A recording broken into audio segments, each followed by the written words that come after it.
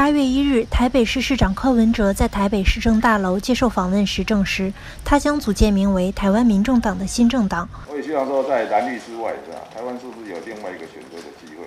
所以对我来讲，台湾民众党它就是一个理念，理念的结合。我们希望民意、专业、价值是我们决定政策的一个目标。我们希望行政。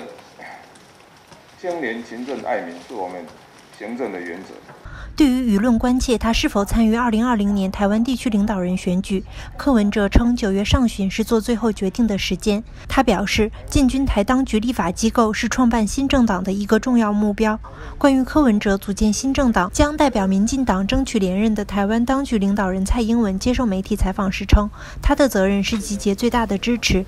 已确定将代表国民党竞逐2020的韩国瑜则在高雄表示尊重和祝福，称柯应该清楚说明追求理想的方向。红海集团前董事长郭台铭在中国国民党台湾地区领导人选举初选中落败后，尚未表明动向。被问及是否与郭合作时，柯文哲仅表示，国民党初选后还没和郭台铭见过面。